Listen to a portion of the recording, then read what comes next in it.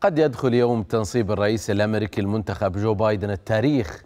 إذ يؤدي اليمين الدستورية وسط انتشار أمني غير مسبوق كما أن التقاليد المتعارف عليها أثناء تسلم السلطة ستتلاشى أغلبها. بداية سيغيب الرئيس دونالد ترامب عن مراسم التنصيب فعندما يؤدي بايدن القسم سيكون ترامب قد غادر واشنطن محطما بذلك تقليد نقل السلطة فبموجب التقاليد يفترض أن يرحب الرئيس المنتهي ولايته والسيدة الأولى بالرئيس الجديد وزوجته صباح يوم التنصيب.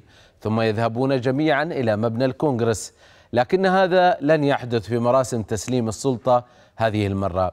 في حين سيحضر نائب الرئيس مايك بنس بدلا من ترامب.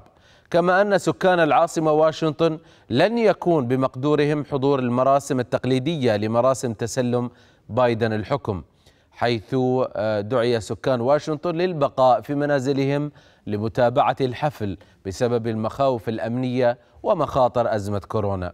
إضافة إلى أنهم في كلا الأحوال لن يتمكنوا من حضور المراسم نظرا لتحول العاصمة إلى معسكر حصين حيث يقوم أكثر من عشرين ألف عنصر من الحرس الوطني والجنود الاحتياط بدوريات مسلحة. فيما وضعت حواجز وكتل أسمنتية لحماية المباني الرئيسية. وبجانب ذلك ستغلق منطقة ناشونال مول أمام الجمهور وهو مكان يتجمع فيه مئات الآلاف من الأمريكيين تقليديا لتحية رئيسهم الجديد. وبدلا من ذلك سترفع رايات ولافتات يقارب عددها مئتا ألف تمثل المواطنين الذين لم يتمكنوا من الحضور على غرار ما يجري في كل دورة رئاسية. ونتيجة لهذه الإجراءات التي فرضتها اقتحام مؤيدين لترامب مبنى الكونغرس سيكون حدث التنصيب تلفزيونيا في المقام الأول. معنا من واشنطن المستشار الاستراتيجي في وكاية في وكالة كي جلوبال السيد دان ريني. أهلا بك سيد دان معنا على سكاي نيوز عربية. يوم مختلف عن كل أيام التنصيب. أهلا بك. كل أيام التنصيب التي شاهدها العالم في الولايات المتحدة الأمريكية وحتى التي يعني كانت قبل حتى وجود التلفزيونات والراديوهات في الولايات المتحدة الأمريكية. هل تعتقد أنه سيكون يوما يعني مميزا للرئيس جو بايدن أم أنه سيفقد بريقه؟ Well, it's definitely a challenge right now for الوقت الحالي بالنسبة لإدارة بايدن وبصراحة لأي مسؤول حكومي في واشنطن العاصمة. لا سيما من ناحية التواصل وبالنظر إلى هذا اليوم التنصيب عادة ما يكون هناك انتقال سلمي للسلطة. وهناك آلاف من القوات العسكرية المحيطة بالعاصمة والتي بها الكثير من الحراس الذين يحملون الأسلحة ويبدو الأمر كما أنه ثكنة عسكرية بدلا من أن يكون تنصيبا أو انتقال سلمي للسلطة. وأيضا حتى أن الرئيس ترامب لن يحضر هذا الحفل وحيث كان في السادس من يناير الكثير من التظاهرات والتي انتشرت في العاصمة.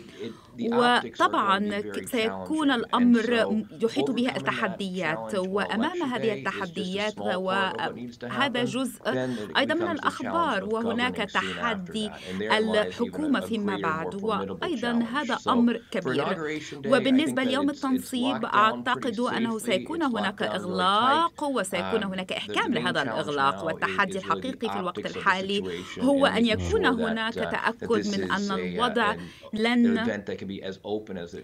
لن يتأثر وأنه لن يكون هناك أي أضرار وأنه لن يحدث أي شيء مثل السادس من يناير لا سيما مع انتشار كوفيد وكل هذه الأمور في نفس الوقت. وطبعا هذا ما ينبغي وأن تتخطاها الإدارة فيما بعد.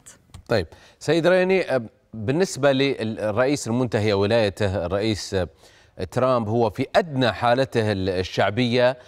بعض ال يعني ال استطلاعات الرأي أعطته أقل درجة بالنسبة لأي رئيس في تاريخ الولايات المتحدة الأمريكية والذي نعرفه إلى الآن. إلى أي مدى الرجل سيترك هذا المنصب سيترك هذا المشهد بتركة صعبة جدا إرث صعب جدا ممكن أن تذكره الأجيال القادمة بأسوأ رئيس في الولايات المتحدة الأمريكية.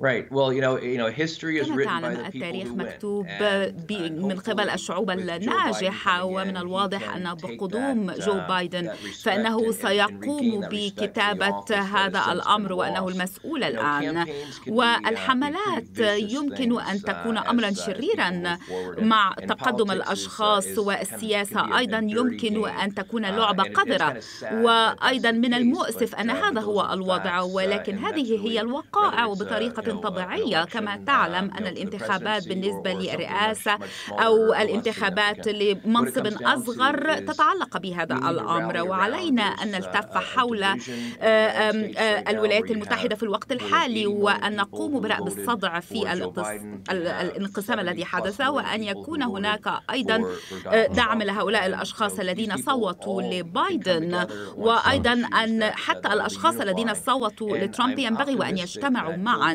وأعتقد أن جو بايدن سوف يقوم بحل هذه الأمر وأيضا سيقوم بحل الأزمة الخاصة بكوفيد وإصلاح البنية التحتية. ونعم.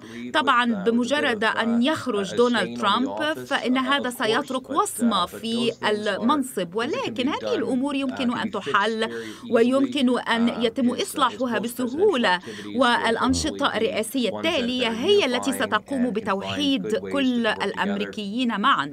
ومن الواضح أيضا أن ما حدث في السادس من يناير هي مدعاة للقلق ولكن أيضا كل المحافظين وأيضا حول ترامب أيضا آه، قاموا بإلقاء اللوم عليه وأيضا كانوا يدعون لعزله. بسبب هذه الأحداث. والفكرة هي أنه ينبغي وأن يتجاوز هذه الفكرة قبل أن يتقدم في سياسته.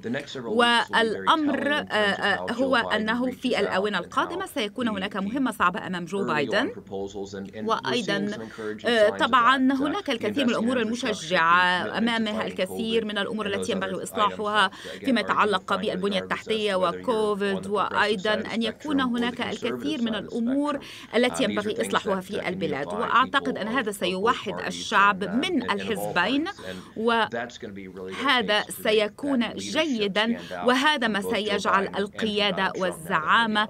إيجابية بالنسبة للإثنين جو بايدن ودونالد ترامب حتى. شكرا لك من واشنطن المستشار الاستراتيجي في وكالة في وكالة كي جلوبال السيد دان ريني. شكرا جزيلا لك.